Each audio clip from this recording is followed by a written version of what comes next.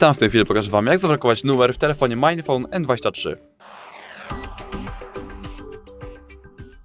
Na początku wchodzimy do naszego telefonu, następnie w prawą górną róg klikamy trzy kropki, a przepraszam, na, potem wchodzimy w kontakt na przykład, wchodzimy w kontakt, który chcemy zablokować, klikamy trzy kropki w prawym górnym rogu, klikamy zablokuj numery, klikamy przycisk zablokuj, nasz wtedy numer zostanie zablokowany. Dziękuję za oglądanie tego materiału, za subskrybowania, lajkowania i komentowania. Cześć!